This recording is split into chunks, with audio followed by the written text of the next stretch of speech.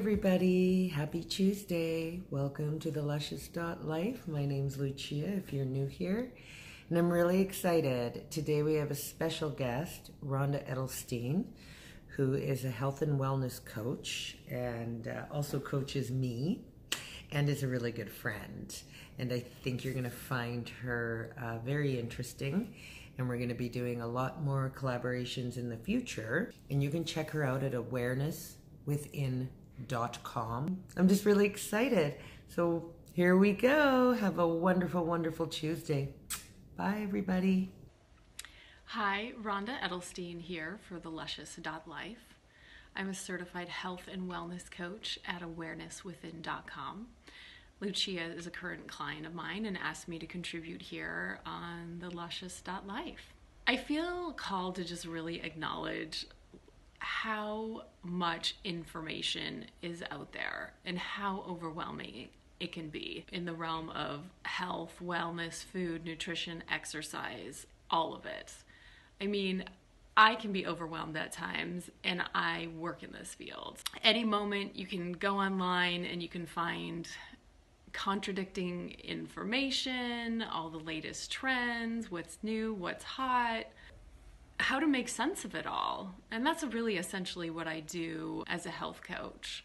I help you identify what your goals are and your intentions and, and desires, and then how to sift through all the information out there to find what fits for you.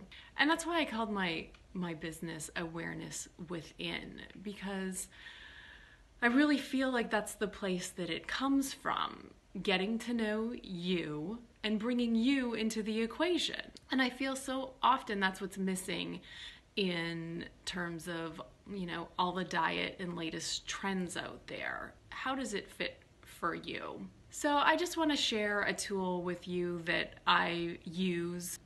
I also studied spiritual psychology, so I bring a lot of that into how I work. And one of the principles I learned there was to use knowledge and information in service to your heart. And how I interpret that or how I use that in the health and wellness world is to take information or knowledge that you receive and like filter it through your heart.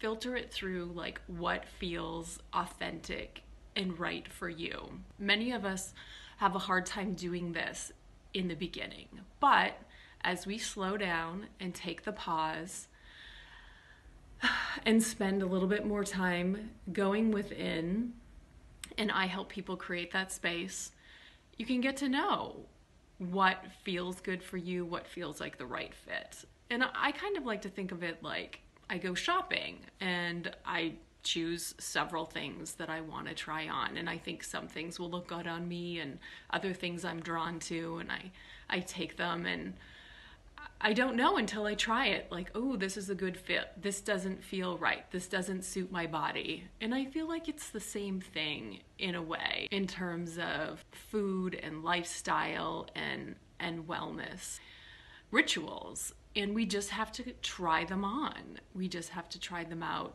and see how do I fit into this equation? How does this work for me? So I encourage you to try that.